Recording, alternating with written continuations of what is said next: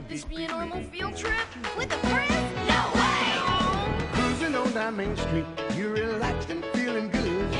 Next thing that you know,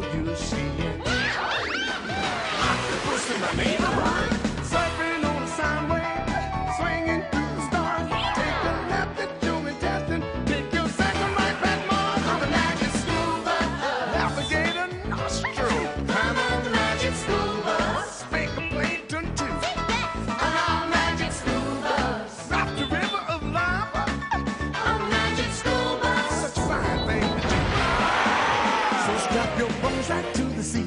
Come on in and don't be shy. Just to make your day complete. You might get baked into a pie on the magic bus. Step inside, it's a wilder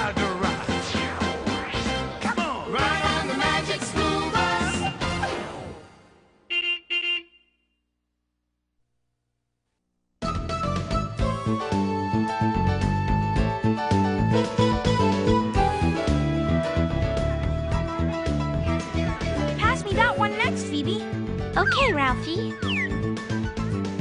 It's going to be a model of the solar system. Neat, huh, Janet? Uh, I hate to tell you, Cousin Arnold, but when my class built one, the sun was so huge we had to hang it from the flagpole.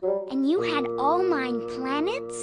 That's right, Keisha. Mercury, Venus, Earth, Mars, Jupiter, Saturn, Uranus, Neptune, Pluto. My class already studied the solar system. I bet you your class didn't learn about the aliens that live on the planets. For your information, Ralphie, Earth is the only planet that can support life as far as we know. And how far do you know?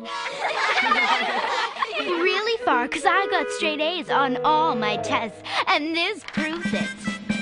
If you already know so much, Janet, why did you come to visit our class? Because Arnold told me all about your field trips, Dorothy Ann. What did he say? That they were, and I quote, highly unusual. And you know what I said? Prove it.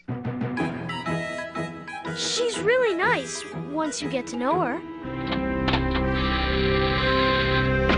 Oh, good morning, class. Have you all met Arnold's cousin, Janet? Yes, Miss Frizzle. My teacher doesn't dress like that. That's nothing. Sometimes the Friz looks totally outrageous. Well, since we're lucky enough to have a guest today, I'd say it's a perfect time for a field trip. Oh, field trip!